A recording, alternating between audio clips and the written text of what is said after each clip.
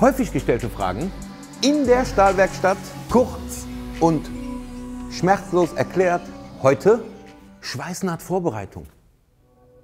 Freunde, ganz kleiner Einblick in die Schweißnahtvorbereitung. Was müssen wir machen, damit unsere Naht sauber und vernünftig wird? Das allererste, was wir machen, ob das ein Blech ist oder ein Rohr, was Zunder-Schicht aufweist, ist es metallisch blank schleifen. Metallisch blank ist die allerwichtigste Grundlage, um eine Schweißnaht sauber herzustellen. Was wir noch brauchen, ist Öl und fettfrei und natürlich sauber, kein Lack, kein Schmutz etc. Bevor wir einsteigen in Schweißnahtvorbereitung, gucken wir uns ein kleinen bisschen die Terminologie an, damit wir ein paar Stellen einer Schweißnaht benennen können, um zu wissen, worüber wir sprechen. Schauen wir uns als allererstes mal den Stumpfstoß in Version einer V-Naht an. Ein paar Begriffe an die Tafel geschrieben. Wir haben einmal die Flanke, den Steg, den Stegabstand, das Grundmaterial, den Öffnungswinkel, hier eingezeichnet 60 Grad. Der kann variieren, je nach Material, bis 75 Grad hoch oder auch runter auf 40 Grad ist eine Materialgeschichte. Und den Flankenwinkel, das ist der Winkel unserer Phase, 30 Grad. Auch der kann variieren. Auch das ist materialabhängig, hängt mit dem Gesamtöffnungswinkel zusammen. V-Naht mit 30 Grad Flankenwinkel wird genutzt bis ungefähr 16 mm. Also für zu Hause tatsächlich, wenn man einen Vollanschluss möchte und den herstellen will, ist die V-Naht genau das Richtige. Sind unsere beiden Grundwerkstoffe abgeheftet, nennt sich das Ganze Schweißfuge. So viel zur V-Naht. Wir springen rüber, schauen uns einmal die Kehlnaht an. Wir wissen, 90 Grad zueinander ausgerichtete Bleche. Das Blech, was auf dem unteren Blech aufliegt, hat einen sehr geringen Abstand. Hier sollte man die Null anstreben. Letzte im Bunde, die HV-Naht hat auch die Flanke, sitzt auf dem Grundwerkstoff auf. Üblicherweise haben wir hier einen Öffnungswinkel von 30 bis 45 Grad. So können wir sauber an die Wurzelseite und hier einen Vollanschluss herstellen. Das werden wir uns gleich in der Nahaufnahme einmal ansehen. Was wir uns jetzt anschauen, sind ein paar Bleche, wie sie ursprünglich aussehen. Wir haben hier ein 80 x 80 x 8 mm starkes Blech.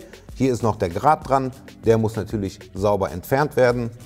Einmal die entgratete Version, aber nicht metallisch blank. Dann haben wir hier einmal die Vorbereitung für eine Kehlnaht. Der Schweißbereich ist sauber metallisch blank und unten ganz glatt, quasi 90 Grad, nur abgesägt und ein klein wenig entgratet. Die gegenüberliegende Seite ist metallisch blank, Rückseite mit Zunder, das spielt keine Rolle. Blech obendrauf, Kehlnahtvorbereitung fertig. Eine letzte Sache schauen wir uns an. Wiederum ein metallisch blankes, vorbereitetes Blech. Vorbereitet hier eine HV-Naht, am Rohr deutlich zu sehen, etwas über 30 Grad Phase angeschliffen, wird mit Wurzelspalt auf einem Blech aufgesetzt. Wie wir üblicherweise einen Wurzelspalt herstellen, das zeige ich euch jetzt ganz kurz. Was ich hier habe, ist eine handelsübliche 2,5 mm Elektrode. Die hat einen Außendurchmesser mit Umhüllung von ca. 4 mm.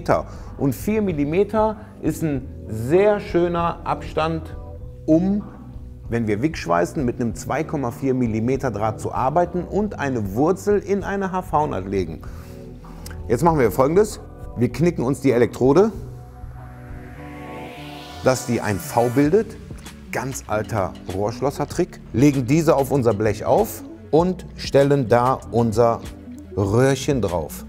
Jetzt bildet sich unten automatisch der 4 mm Luftspalt. Was wir jetzt machen, ist auf der einen Seite abheften, Rohr ankippen, Elektrode entfernen, ausrichten und schweißen.